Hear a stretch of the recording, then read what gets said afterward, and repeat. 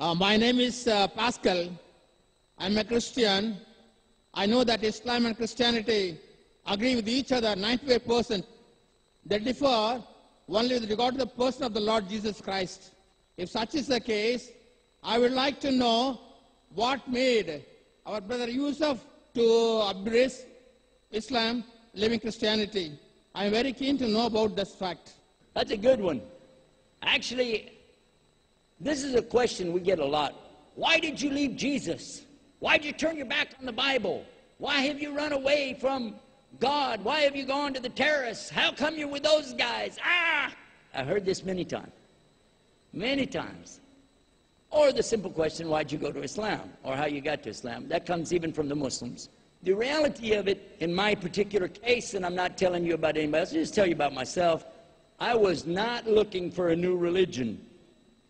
I was very much committed to preaching Christianity. I loved Jesus. I loved him an awful lot.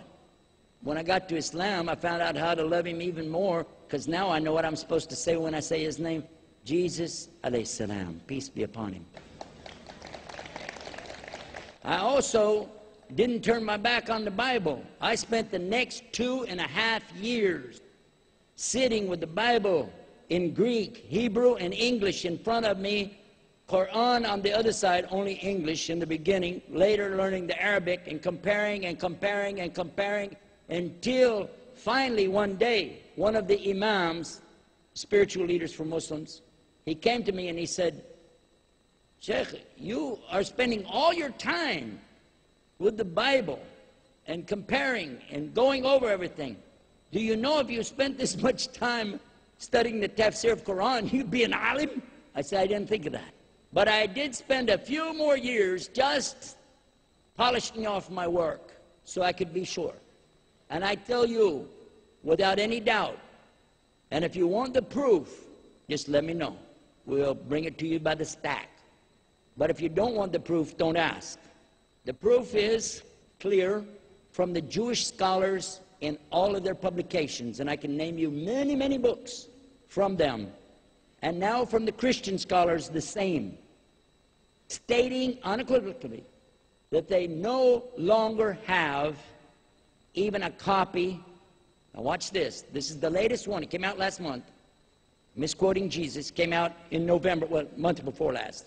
Came out in November. He said we do not have even a copy of a copy of a copy of a copy of a copy of anything original from the Bible. This was Bart Ehrman.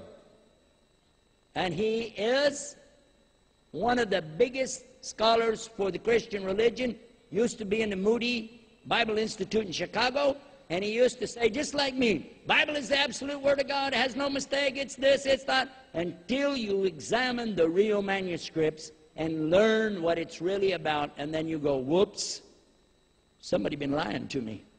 But then, when you go to the Quran in the Arabic language, the authentic book that's still never been changed in 1400 years, and read it in Arabic language and understand the meaning of it, and you say, Allahu Akbar. Because why?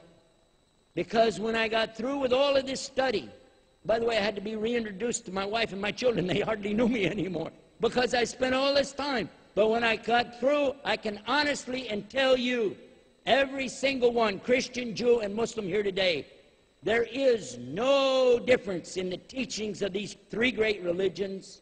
There is nothing contradictory in the Bible and the Quran except where the Bible contradicts itself.